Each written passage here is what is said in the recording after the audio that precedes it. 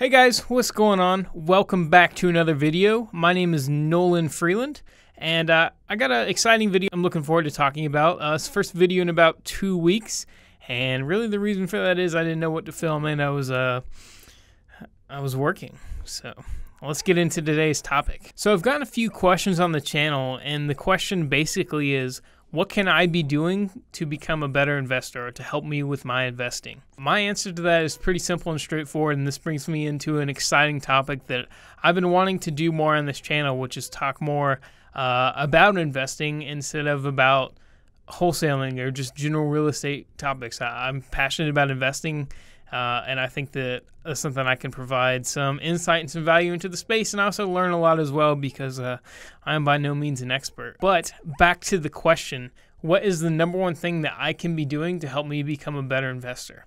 My answer to that is learn your market. I don't care if you're in real estate, stocks, bonds, cattle, or cryptocurrency.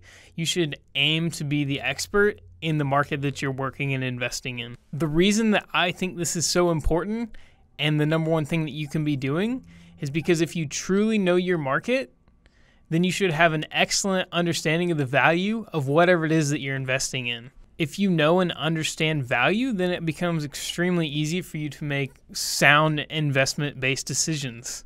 Knowing your market and being able to recognize the value of the commodity or the asset in your market will also allow you to quickly spot and recognize either undervalued or overvalued properties or assets. If you know your market and you know the value, and most importantly, that information is based on sound and factual information of your market, this should give you the ability to make accurate decisions rather than hopeful speculations when it comes to your investments. Now, that could also mean that you may only buy or sell or do whatever it is you're trying to do with one out of 100 deals that you look at.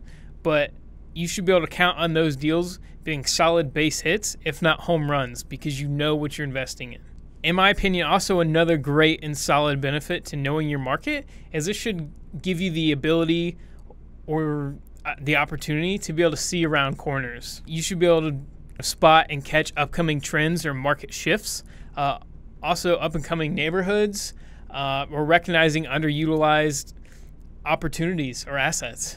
Ryan Narus, a mobile home park investor uh, who lives in the Charlotte area, uh, owns Archimedes Group and also has a great podcast called uh, MHP IRL, which is mobile home parks in real life.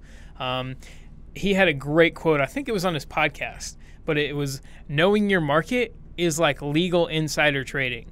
And I could not agree more with that. I think that statement is is just hits the nail right on the head. So in all circling back around, the number one thing that you can be doing to become a better investor at anything is knowing your market. Learn your market. Be the expert in your market. If you have accurate and factual knowledge of your market that is built on a solid foundation, then you should have a competent understanding of value in your market.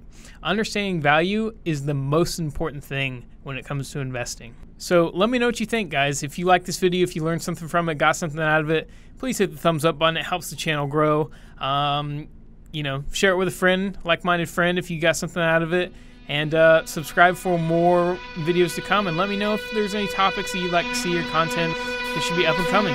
Thanks so much.